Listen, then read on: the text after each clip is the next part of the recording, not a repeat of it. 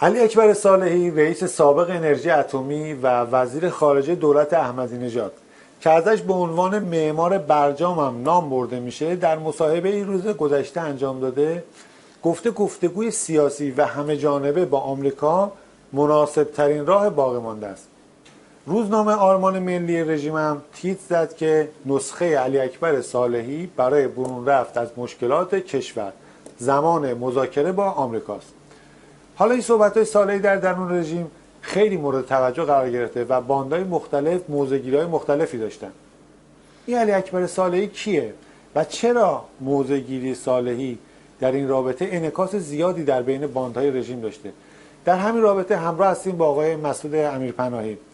مسعود سلام عرض می‌کنم خدمت شما و می‌خواستم به عنوان اولین سوال ازت بپرسم که چرا این مصاحبه صالحی در بین رسانه ها و باندهای رژیم اینقدر مورد توجه قرار گرفته.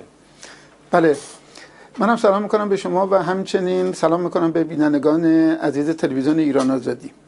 ببینید در رابطه با سوالی که کردی باید بگم که این علی اکبر ساریحی در واقع در دستبندی کلی باندهای رژیم اصولگرا محسوب میشه یعنی از باند خامنه ای رئیس سابق سازمان انرژی اتمی رژیم بوده. همطور که خودت هم گفتی در دولت احمدی نژاد بعد از منوچهر متکی وزیر امور خارجی رژیم یعنی همون دولت احمدی نژاد شد. درست این در زمانی بود که مذاکرات برجام در دولت احمدی نژاد مخفیانه شروع شده بود. این اولین کسی بود که در واقع در این مذاکرات شرکت داشته.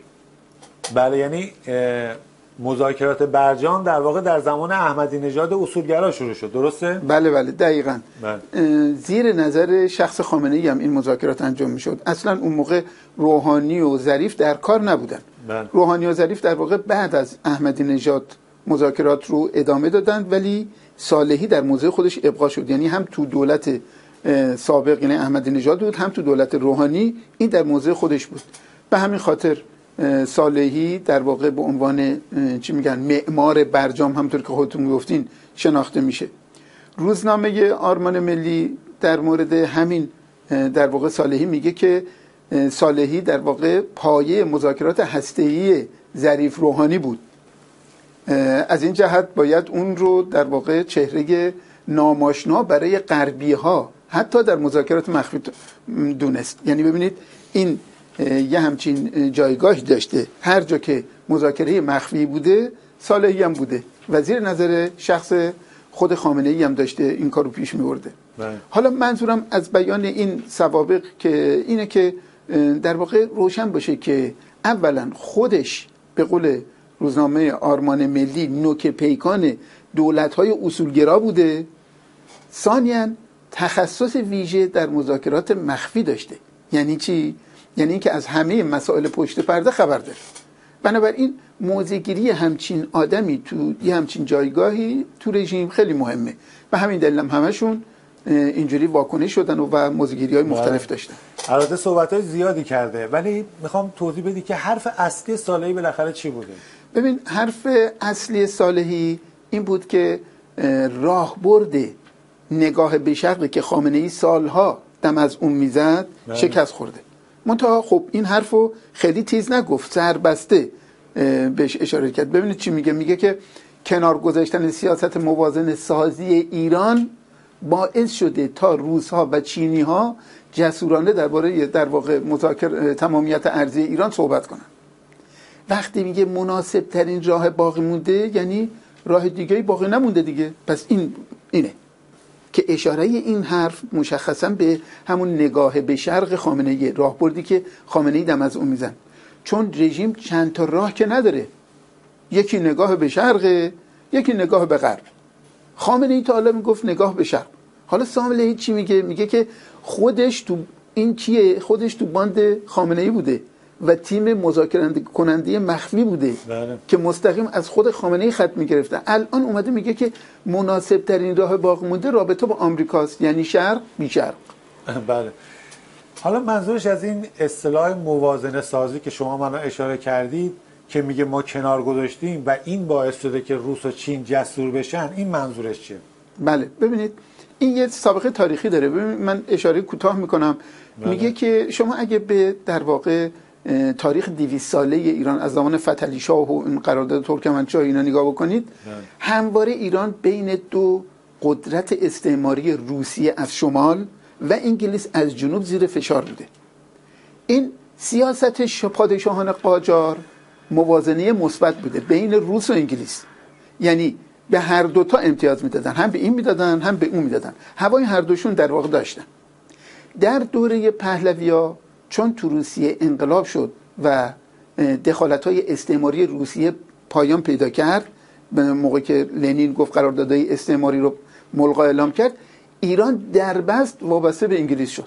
این در زمان رضا شاه در زمان محمد رضا شاه هم بعد از 28 مرداد 1332 در واقع چرخید به دامان آمریکا و شد وابسته به آمریکا. بنابراین سیاست موازنه ای دیگه موضوعیتی نداشت. یه آمریکایی بود که به شاه دیکته می‌کرد این کارو بکن این کارو نکن. حالا این صالحی داره میگه که ما که وابسته به آمریکا نیستیم وابسته به غرب نیستیم. بنابراین باید بین شرق و یعنی روسیه و چین با غرب یعنی اروپا و در واقع آمریکا موازنه می‌کردیم که نکردیم. داره به کی میگه؟ به خامنه ای میگه. چون می‌گفت نگاه به شرق. میگه وقتی ما سیاست موازنه بین قدرت های شرق و غرب و کنار گذاشتیم چین و روس جسور شدن و در واقع دوباره تمامیت ارزی ما دخالت می‌کنن. این حرفی که صالحی داره می‌زنه. داره دخالت روس و چین رو میندازه گردنی که این راهبرد شکست خورده خامنه بله.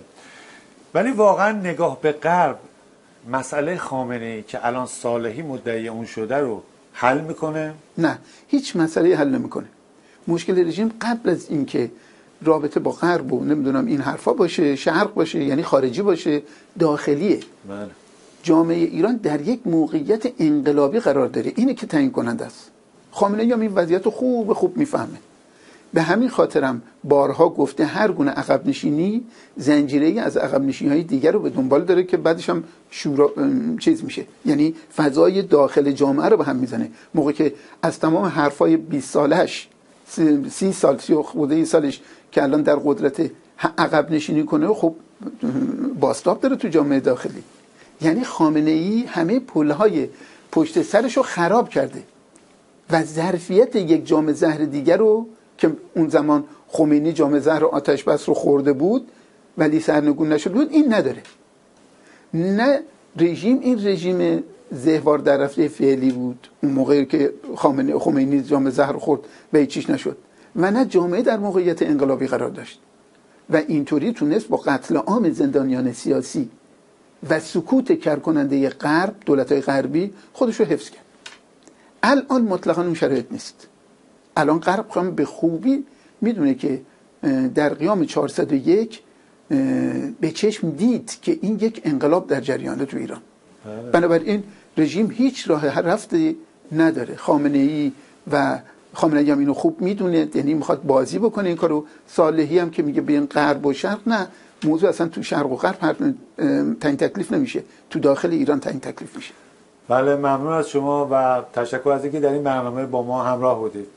منم تشکر می‌کنم از اینکه این فرصت رو من دادید.